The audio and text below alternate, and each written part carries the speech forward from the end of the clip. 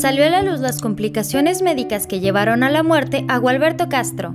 Esto es Periódico Viral. Suscríbete y activa la campana de notificaciones para que siempre estés al tanto de cuando subimos videos. Y no te pierdas ni un segundo de lo que pasa en el mundo de la farándula. México está de luto, ya que el cantante de la agrupación Los Hermanos Castro, Gualberto, falleció esta tarde víctima del cáncer y sus complicaciones. Hace aproximadamente un mes, Gualberto fue hospitalizado a emergencia, a causa de una hipercalcemia, es decir, exceso de calcio en el torrente sanguíneo. La emergencia incrementó, pues la hipercalcemia se complicó por una infección pulmonar por esporas y problemas renales, lo que impidió que el famoso pudiera ser tratado para eliminar el cáncer de vejiga que lo había atacado. Gundy Baker, la esposa del fallecido, informó a los medios sobre la muerte de su pareja sentimental, así como que el cantante recibió todos los tratamientos necesarios sin mostrar mejoría en su salud, por lo que sus familiares ya estaban preparados para recibir la noticia. Gualberto inició su carrera artística como bailarín cuando tenía solo 14 años de edad, en el conocido Teatro Blanquita de la ciudad capitalina.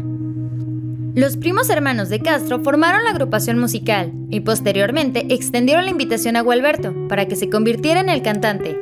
Gualberto Antonio Castro Levario, mejor conocido como Gualberto Castro, nació el 12 de julio de 1934 en la Ciudad de México. Desde pequeño manifestó su gusto por el canto. Si bien la ópera estaba de moda, él siempre se inclinó por las baladas románticas. En ese momento, al no encontrar trabajo como cantante, decidió lanzarse como bailarín del Teatro Blanquita. La gran oportunidad llegó gracias a sus primos, Arturo Javier y Jorge Castro, quienes formaron el grupo Los Hermanos Castro, antes conocido como Los Panchitos, y lo invitaron como contratenor.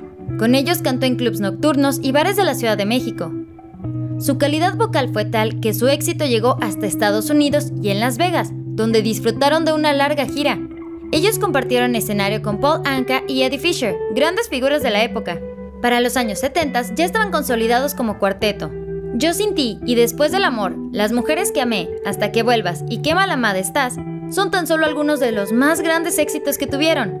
Ante el gran cariño del público, decidieron probar suerte por separado. En ese tiempo, Gualberto participó en el Festival OTI de la canción, en 1973, del cual quedó descalificado con la canción del hombre, por haberla promocionado antes en la radio. Dos años después, con la felicidad del compositor Felipe Gil, se llevaría la máxima distinción de la competencia. En su trayectoria, Gualberto también se destacó como actor, ya que protagonizó el musical Amor sin Barreras en el 76, además de que participó como presentador del programa televisivo La Carabina de Ambrosio. Dale like a este video y déjanos en los comentarios un emoji color negro para conmemorar su muerte. No olvides suscribirte y activar la campana de notificaciones. Subimos videos todos los días, así que prepárate para mucho más.